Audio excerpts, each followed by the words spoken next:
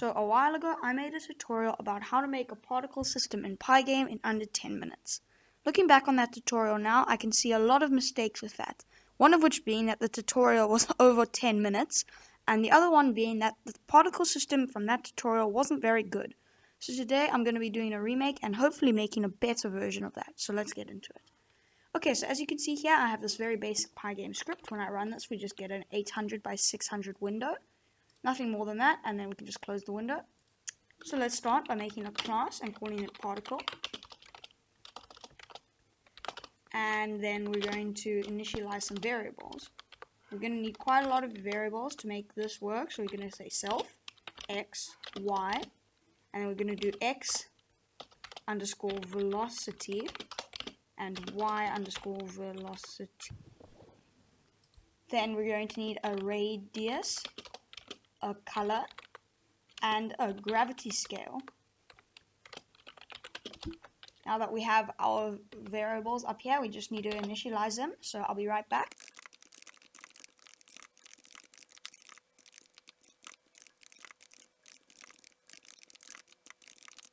We've got all of the variables we defined up here. We can add in one more variable here, which will be self.lifetime is equal to 100. Alright, now that we've initialized everything, let's make the main function. We'll just call it draw, and this will take a self and a display. Now, the first thing that we're going to want to do in here is say self.life time minus equals 1. So every second that this particle is alive, we want to take 1 away from its lifetime. Okay, so before we continue, we should probably add one more variable up here, and that's self.gravity and we're just going to set this equal to then what we're going to do is we're going to say self.gravity minus equals self.gravity underscore scale. And I'll explain what this does in a minute. Okay now we need to actually set the location of our particles so for that we're just going to do self.x plus equals self.x underscore velocity and self.y plus equals self dot y underscore velocity multiplied by our gravity multiplied by gravity then what we're going to do is we're going to come here and we're going to say display dot blit. and now we want to sorry not display dot blit. we want to say rather pygame dot draw dot circle because we want our particles to be circular in this example and we're going to draw it to the display. We will draw them with our color, so self.color. And then we will draw it at the self.x and self.y of our particle. We'll draw it with a self with self.radius. Okay, and that pretty much does it for our particle class. So now I'm going to just quickly walk through all of this to explain what it does. So basically what, what we're doing here by saying self-dot gravity minus equals self-dot gravity scale is we're going to set gravity scale to something like 1. Okay, so then we're going to have our gravity is at 1. So then we're going to say self-dot gravity minus equals gravi self-dot gravity scale. So gravity will now be 0. So our self.y will be will, will not will not be affected. Then next frame we're gonna we're going to set gravity to minus 1. So then our self.y will be subtracted 1. Will be subtracted 1 will be subtracted 1 multiplied by whatever we set our y velocity to. And you can kind of see where this is going. So the faster, the more the particles fall, the faster they will go. And this actually creates a nice cool effect.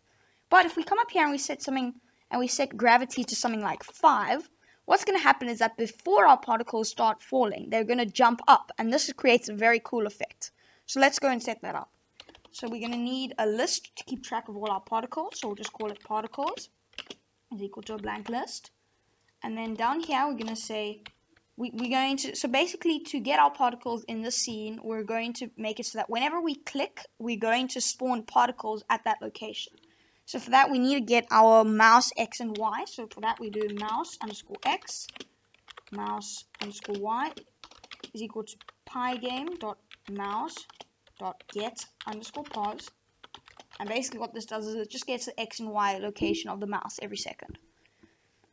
Okay, so the next thing that we're going to want to do is we're going to want to come down here and...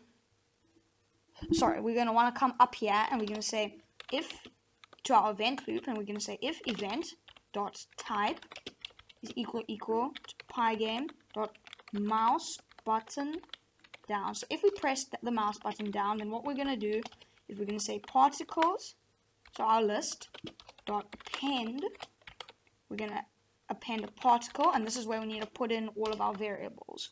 So x will just be the mouse underscore x, y is just going to be mouse underscore y, and now that I think about it, let's just move this up to the top.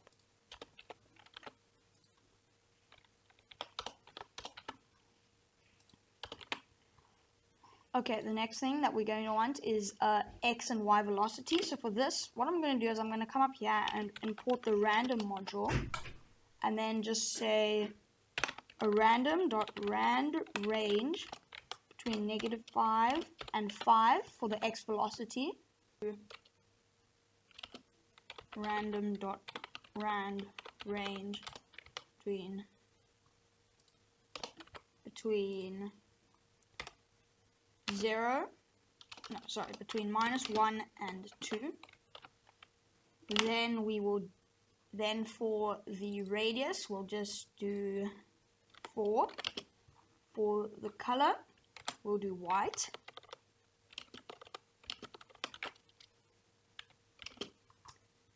And for the gravity scale, we'll do 1.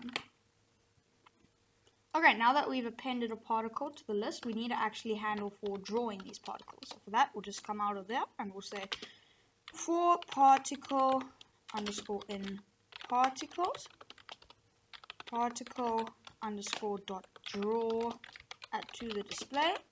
And now before we can run this, we just need to say up here display dot fill, and I'll just do black. And then at the bottom I'll just do pygame dot display dot update. Cool and this should now work. So we have our window here and when I click we ah spelling errors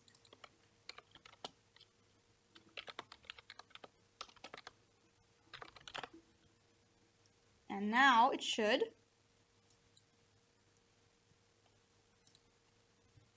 Sorry, and then just here we need to put in self of gravity. Alright, so I've just found a couple errors with our code. This needs to be between negative 2 and 0. And then we also need to append more than one particle. So I'm just going to say for i in range, and then we'll just append 10 for now.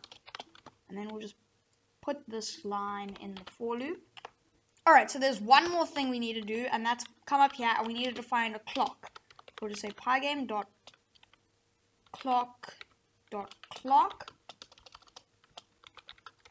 and then down here we'll just say clock dot tick 60 fps and this is meant to be pygame dot time dot clock okay so now as you can see the particle system works the particles jump up into the sky and when they and then they start falling down. One issue I see here is that we're not actually getting rid of these particles once they once their lifetime has gone to zero. So we just say if particle underscore dot lifetime is greater than zero, then we'll do this. Otherwise, we shall just say particles dot pop particles dot index particle underscore. So basically what this does is it just finds the particle with a lifetime which is less than zero and removes it from the list. Oops, that's just got to be particles. And as you can see now, this particle system completely works. The particles will jump up and then they will fall down but as and I want to prove to you that this is very flexible. So let's make some adjustments. First of all, let's set this lifetime to random dot rand range between 25 and 75. So now the particles will randomly start disappearing. So, oops, that's a little too long. Let's just go between 5 and 20. As you can see now, the particles will go away much quicker. And if we make our gravity value a bit higher, you'll see our particles will jump up more. And then let's just make the this a little longer. As you can see, the particles will now jump up more before falling down. And we can also have a lot more particles. So let's just make this 50. Oops. You can see now, but now we're running into an error that the particles look a little too uniform.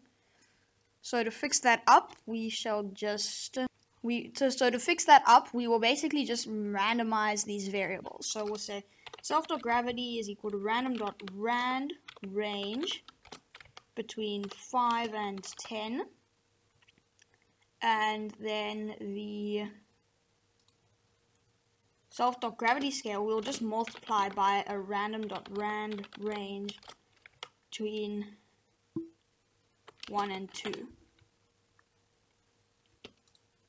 as you can see now the, the particle system is looking a lot more is looking a lot nicer however it is still kind of forming out to be a square so we, what we'll do here is we'll just make this a larger range. As you can see now the particle system is looking a lot more random. It is very nice. It can handle a lot at one time without slowing down. And yeah, so hopefully you find this tutorial helpful. If you do, please consider hitting the like button and subscribing for more content like this. Anyway guys, I hope you enjoyed it and I'll see you all next time.